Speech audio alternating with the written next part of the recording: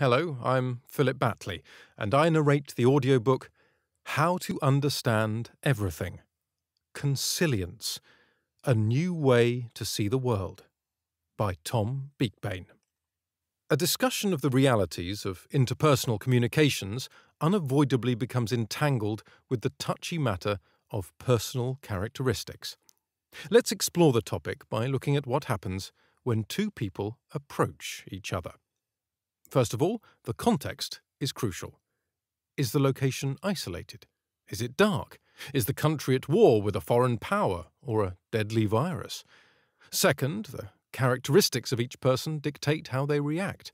What is their age and gender? What is their appearance? How are they dressed? Do they look as though they are from different social groups? Are they members of rival gangs or threatened minorities? As they approach each other, their gait and how they direct their gaze will indicate the tenor of the interaction. At this point, not one word has been spoken, yet much has been communicated. Then, as soon as one person says, How do you do? or G'day, mate, or Hey up, or How you doing? It's likely clear what country the person comes from, down to the region and their social ranking.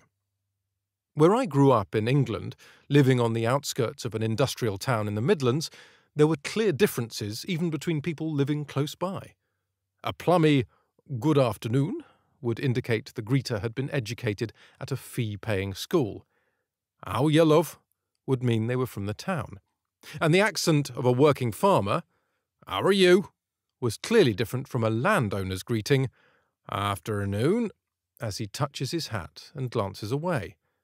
It would have been instantly clear if the speaker was from further afield, say, Yorkshire, Awop, Northumbria, Pet, or from London, all right. Languages are defined by the people who use them, and they evolve rapidly.